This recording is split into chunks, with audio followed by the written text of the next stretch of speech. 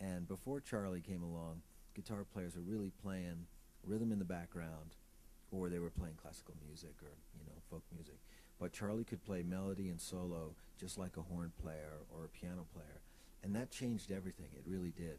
And in a way, it kind of set up uh, the the field for uh, young Jimi Hendrix, you know, coming a few years later uh, in a completely different generation. But um, I think those two guys would be pretty exciting to play with.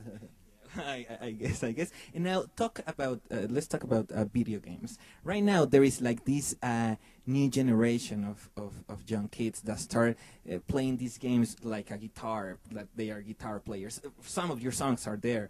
Um, what's your opinion about it? Well, it's great that video games have real music.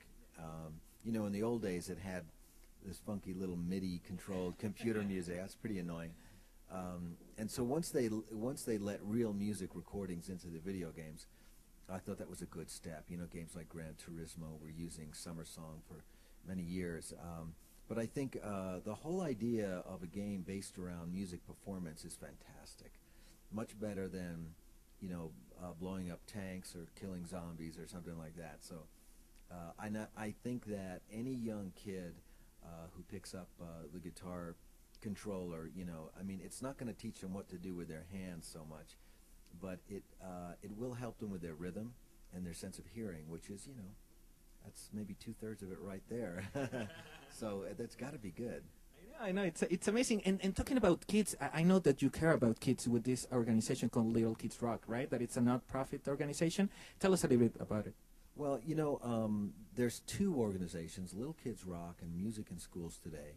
And in the U.S., uh, they really fill a need um, in the schools, in the public school system, where uh, because of budgetary cuts, the arts, uh, the programs for the kids have been cut completely. So there are no art classes, there are no music classes. And, you know, in any, any given classroom, there's got to be half of the kids are probably incredibly gifted with music, and the other half would greatly benefit uh, just being involved in music because it's good for the brain, for the rest of their subjects, and it's a social thing. It's just fun to play music with people, no matter what you do. It you wind up playing the tambourine and not the piano. I don't think it matters. So music is is uh, an important thing, and so these two organizations will uh, come into a school and with uh, the, the you know through the charity of others will not only supply curriculum but instruments uh, for the classrooms and help the school deal with the money crunch and get these kids involved in music and, uh, and, and keep the arts alive. So it's two great organizations. It's an amazing thing to do. And, and also, I, I want to know if it's true. I read about this project that uh, is supposedly be uh, you and Michael Anthony and Sammy Hagar and Chad Smith. It's going to be true? Uh, absolutely true. Yeah, yeah. We uh, got together a few months ago, uh, jumped on stage uh, at, a, at a show in Vegas that Sammy was doing, and we had such a good time just playing some old traffic tunes and Led Zeppelin songs that, it, you know, it just sort of clicked, and we thought, okay, this should be a band, you know.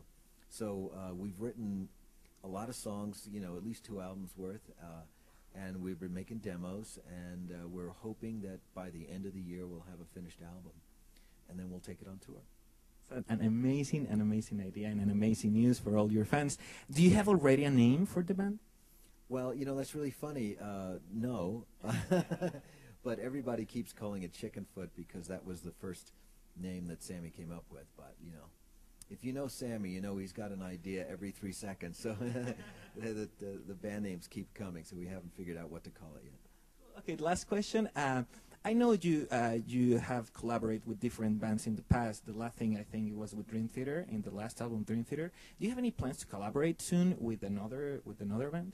Uh, not really. I think the last thing I did, I, I uh, added some solos to uh, John Five's solo record.